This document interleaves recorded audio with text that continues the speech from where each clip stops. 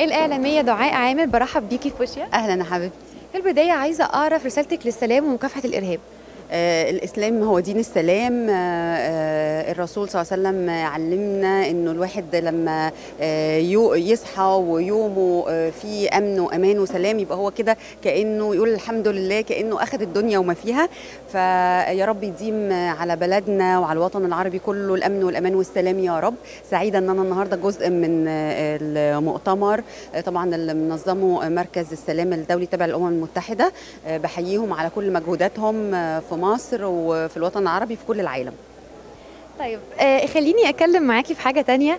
آه دلوقتي أنت المذيعة الوحيدة اللي بتشجع بقية البنات إن أنت تخشي الإعلام وأنت محجبة عادي. لأن دايما كان شرط إن أنت تبقي إعلامية من غير حجاب ودي كل الناس عارفاها. آه قولي كده رسالة تشجيعية لبنات فوشيا إزاي ممكن تخشي الإعلام وأنت محجبة وما يهمكيش عادي. آه، بصي أنا آه، ما كنتش محجبة وكنت من 95 مذيعة في القناة الفضائية المصرية وبعد كده 97 ART منوعات آه، وبعدين سنة 2000 قررت أتحجب لما رحت العمرة وغيرت كل حياتي. وقتها ما كانش في ولا مذيعه محجبة.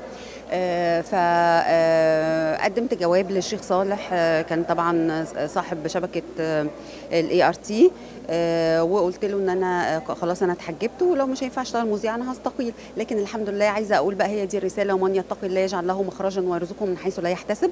سبحان الله آه، هو رد عليا بالجواب إنه الأصل في الإسلام للمرأة هو الحجاب وإن أي مذيعة تتحجب آه، آه، تكمل عادي في شبكة ART في أي قناة هي تختارها. وقتها أنا اخترت قناة اقرأ استخرت وقلت سألت كل الشيوخ عمل المراه حلال قالوا آه عمل المراه حلال. طب ليه ما فيش مذيعة محجبة؟ فقلت أنا هكون أول مذيعة محجبة علشان من غير ما أتكلم. بس هي اللي عاملة كده. لا دلوقتي خلاص كله بقوا محجبات في كل حتة. أنا بقى سنة 2000 ما كانش في حتة أصلا فيها مذيعات محجبات على أي فضائية أصلا.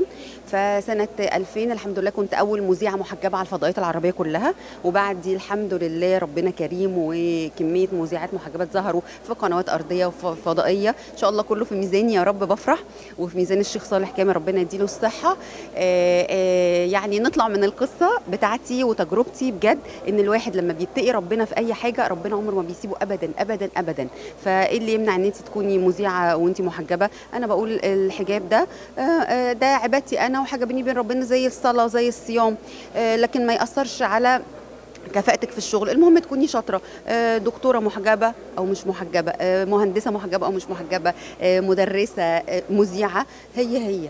المهم إن أنت تشتغلي كويس وتشتغلي على نفسك صح علشان تبقي شاطرة في مجالك. طيب بمناسبة الشغل بقى إزاي بتقدري توفقي بين بيتك والشغل؟ آه الحمد لله. آه آه أنا آه شغلي بحاول إن أنا أنظم في مواعيدي آه علشان أقدر أوفق بين البيت والشغل. آه طبعا ولادي أهم حاجة في حياتي ربنا يحميهم ويبارك فيهم. وربنا دايما يقدرني. أنا كمان أغلب شغلي لله وللخير وبحاول إن هم كمان يبقوا معايا فيه علشان كمان يتعلموا حاجة في حياتهم.